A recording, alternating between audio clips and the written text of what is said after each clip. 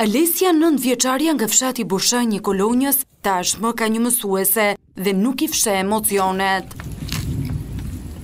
Për të, shkolla nuk filloi më njëmbëdhjetë shtator, si për të gjithë bashkëmoshatarët, por një javë pasi historia u publikua në Report TV.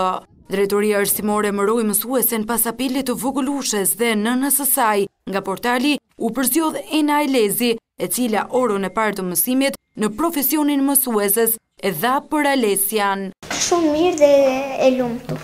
Erdhi mësuesja më në fund, a? Po. Mësuesja e sapoemëruar udhëton çdo ditë nga Korça në fshatin Bushanj të Ersekës për t'i dhënë mësim nxënëses së klasës së katërt.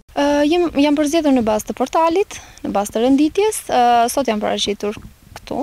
Jam njohur me Alesian, Alesia është kjo vajza këtu. Bukuroshja, është vajzë shumë e shkathët, shumë e zgjuar, po e shikoj, dhe nuk kishte se si të ngelej pa mësuesen e saj.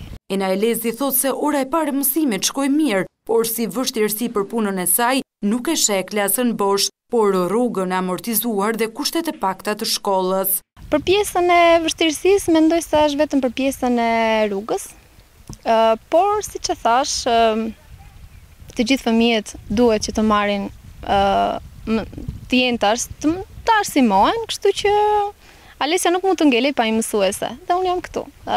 Duhet të ishin kushtet pak më të mira, për Alesian, për një mësimdhënie, akoma dhe më të mirë, akoma dhe më cilësore.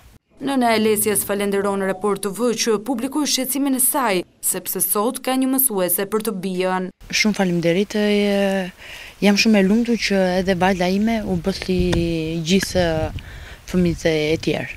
Shpopullimi ka bërë që në fshatin Bushanj të mbetet vetëm një nxënëse, Alesia, ndërsa godina e shkollës është tejet e rrënuar. Në këto kushte, Drejtoria Arsimore e Kolonjës kishte vendosur ta mbyllte shkollën dhe ta transferonte nëntëvjeçaren në shkollën e Ersekës, njëzet kilometër larg fshatit të saj. Nëna refuzoi dhe kërkoi arsimim në fshat për të bijën. Pas apelit në Report TV, Drejtoria Arsimore e Kolonjës reagoi duke emëruar menjëherë një mësuese në shkollën me një nxënës.